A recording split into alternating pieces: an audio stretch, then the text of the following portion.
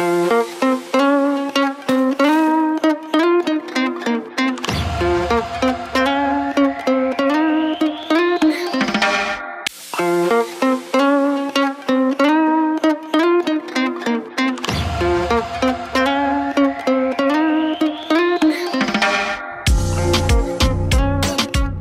this is approximately day three, I think.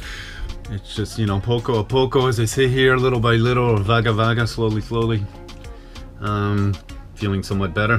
Uh, actually, it's just my leg. I feel great. It's just my leg, man. Uh, but uh, David and Lucas stopped by to say goodbye. They're going back to Sal. I'll miss them. My Danish Viking friends. They were really cool. They're taking off today. So, life of a sailor, you meet friends and then uh, they disappear until you meet them again. And we never say goodbye, we say see you later. So, see you later. Lucas, see you later. David, fair winds, man. I was to be confined on my boat until my body decided to heal. How long will my penance be? Sentencing has yet to be pronounced.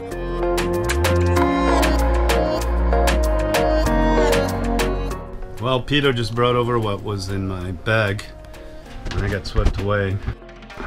I had this strapped around my shoulder. Yeah, well, it got wet.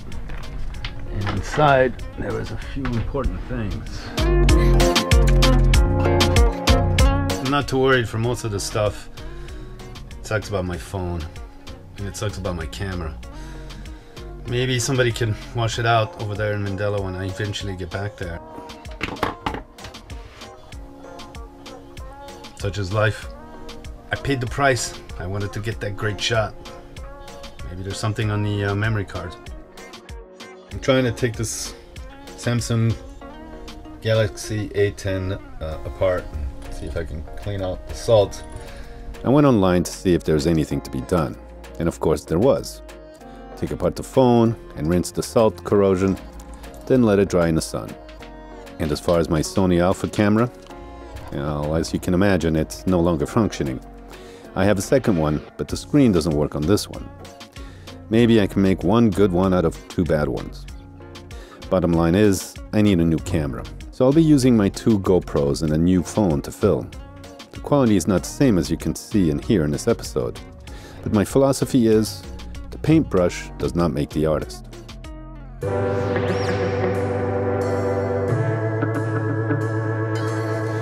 It's been about a week.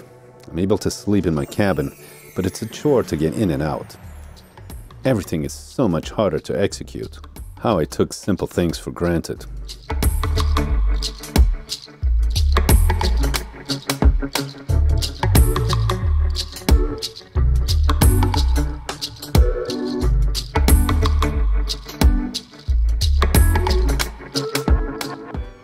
I can make coffee. Yes, the sailor's favorite and a luxury for me. Could not do that in the hospital. Plus, I have some decent pain pills. These have codeine. But I have just a few, so I'll have to use them sparingly. And then the doctor prescribed just ibuprofen. The pain is still always there. The challenge is finding a position where there is the least amount of pain.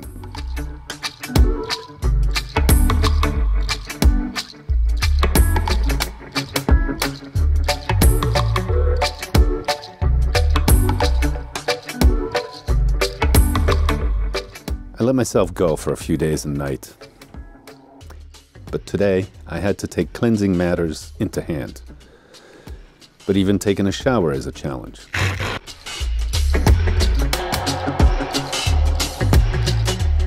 Peter and his crew decided to go back to Mindelo, so Alec came aboard to secure the dinghy and the outboard motor. Thank God these guys have been here.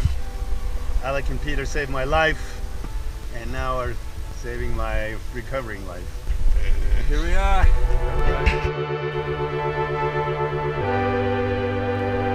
Alright, we're good. Bye, you guys. Bon voyage. Fair winds. Ciao, miss you guys. Peter lent me a phone so that I could be connected, and as well, they brought me a bunch of food and drink. Real lifesavers and true friends. I'll miss them.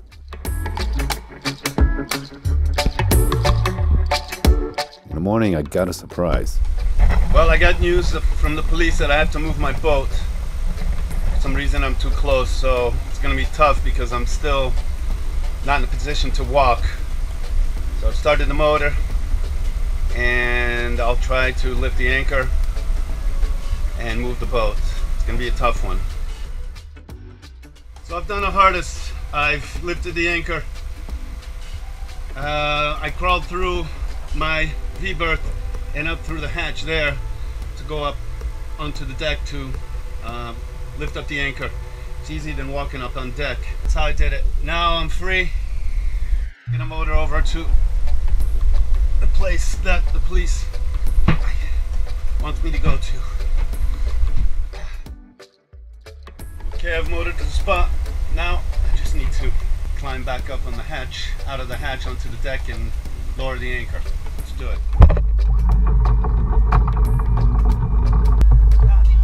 Back up a little bit. Make sure the anchor takes, and then I can release more chain. We're almost there.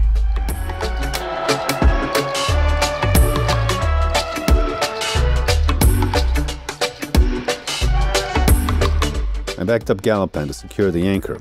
It was holding. All was good. Or was it? Line broke. No wonder I was making this rattling noise I didn't like very much. Well, lasted almost a year this way. I thought I heard some strange noises coming from the bow. Now I knew what it was. I have plenty of spare line and it's an easy fix. I use a cow hitch knot. Works great because there's no friction.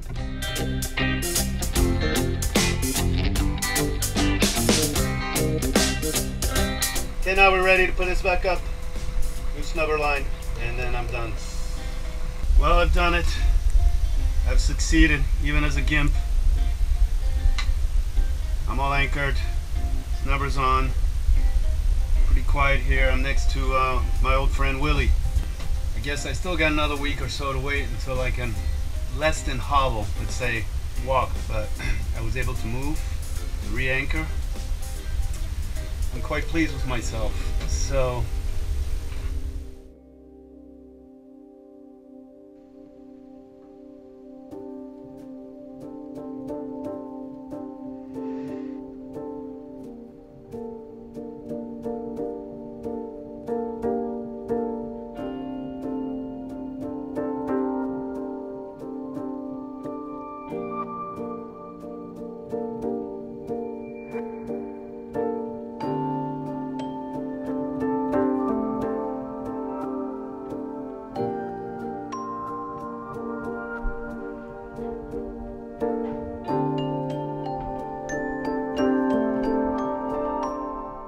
So today is about day 18 since my accident. About two weeks confined to uh, the boat, to Galopin.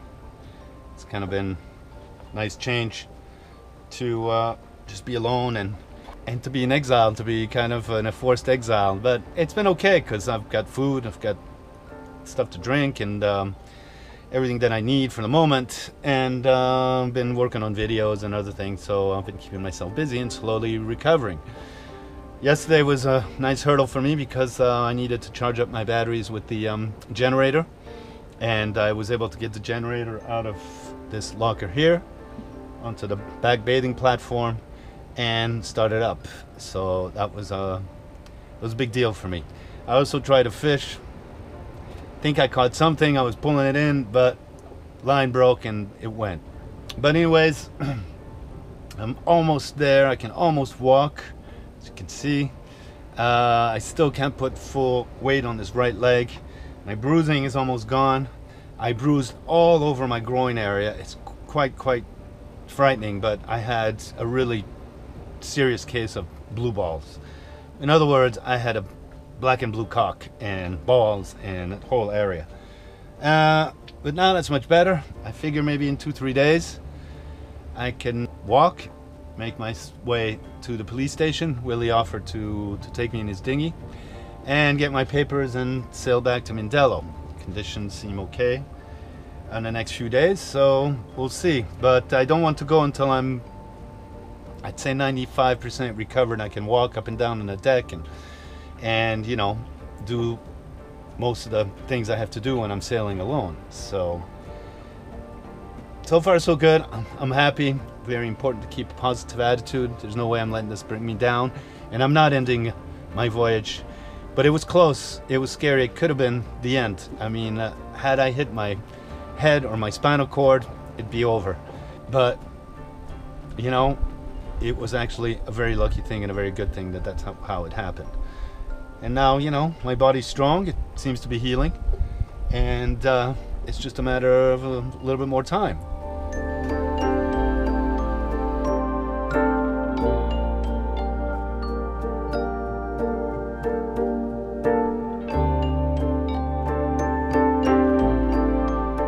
I have to be strong to recover.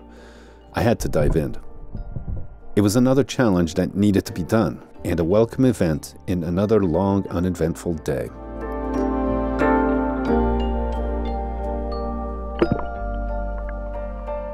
Galopin's hull did not seem so bad. Still pretty clean. And the snubber was holding. Now, the hard part will be getting back up. Or will it?